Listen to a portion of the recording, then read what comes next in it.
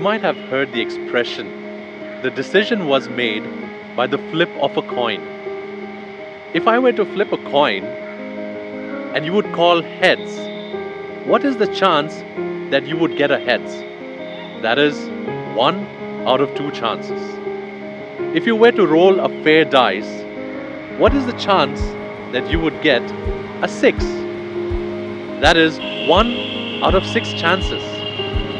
What is the chance a baby would be born with 11 fingers? That's 1 out of 500.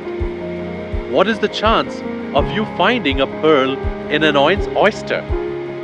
That is 1 out of 12,000. How am I coming up with these numbers? Who told me these numbers? Well, these numbers are out of probability. Probability is a study to study the randomness of an event occurring. So probability is a wonderful subject to study. But as I mentioned earlier, probability is to study the randomness of an event occurring. Probability, randomness, chance. The thing about probability is it has seeped into philosophy. People think about randomness of events occurring in their lives.